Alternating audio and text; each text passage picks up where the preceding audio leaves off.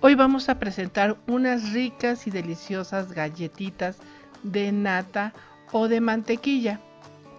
Acompáñame a realizarlas.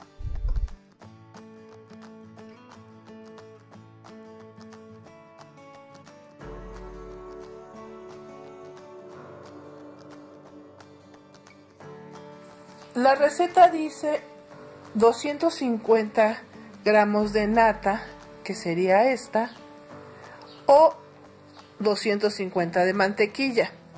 Ajá. Yo la voy a hacer ahora de mantequilla porque ustedes tienen la mayoría mantequilla y va a ser más fácil que las consigan. Pero les quiero mostrar lo que es la nata. La nata es la grasa de la leche. Y como verán, tiene leche todavía. Esta es la, este, la nata. Por eso en la receta donde está escrita dice que si le falta líquido le pongamos otro huevo. Porque la nata normalmente así me la dan con leche. Esto es 250, pero tiene un poco de leche.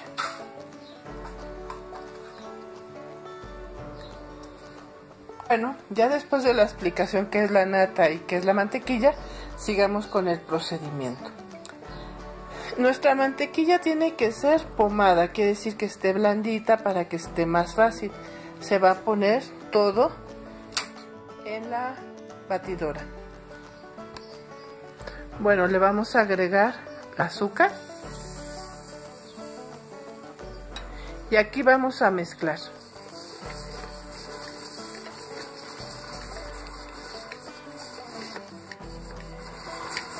Ya que esté integrado, no, no super batido, sino solamente integrado, le vamos a agregar los huevos.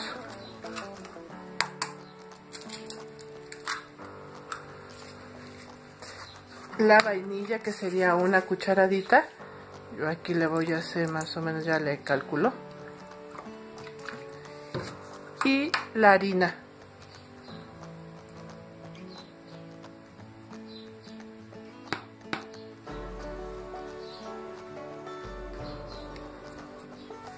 Mezclamos. Aquí es importante, si ven que a ustedes les falta huevo, entonces le pondremos más. Como les dije, la nata tiene más líquido, entonces lo más probable es que esta necesite otro huevo. Debe de quedar así, miren. Ni aguada ni este dura. Para empezar a hacer las bolitas. Bueno pues haremos bolitas. Este es de 30 vamos a hacerlas de 30 ya que están las bolitas vamos a poner un poco de harina y lo que vamos a hacer es extenderlas lo que va a pasar es que si las quieren más gruesasitas o las quieren muy delgadas. En mi caso a mí me gustan delgaditas. Y así nos queda nuestra galleta.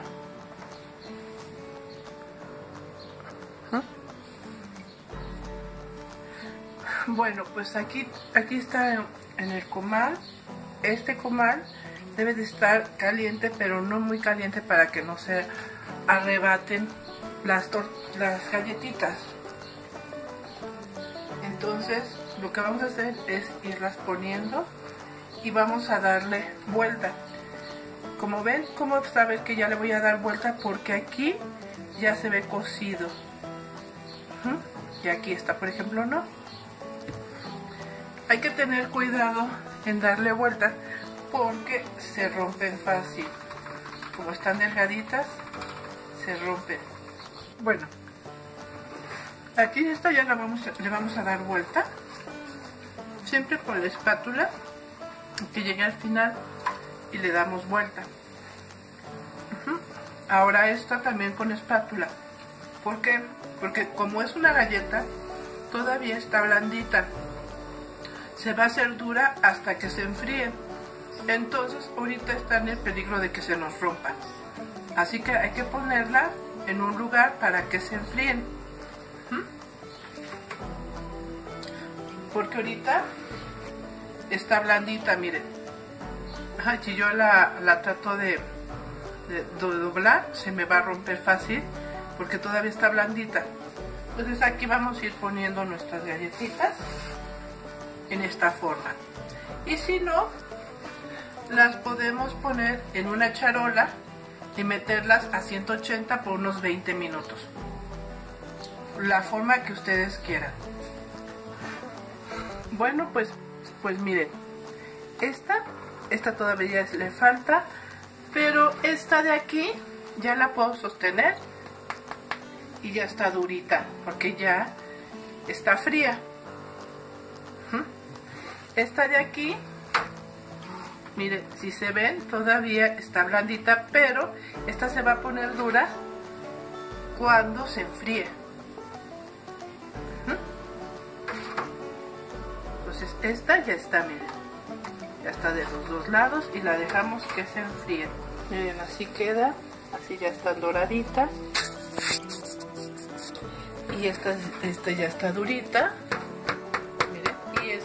Acabo de sacar y ya empieza a endurecer. Esta es la que vamos a poner. Si se dan cuenta aquí en mi charola no necesita ponerle harina ni nada, no se pega. Bueno, pues ya salieron aquí nuestras galletitas. Este, me salieron 34. Y bueno, este, miren qué ricas están. Las vamos, esta la voy a partir. Ven cómo se tuerza. Y quedan muy ricas. Con un cafecito, con una leche. Están perfectas. Espero que las hagan.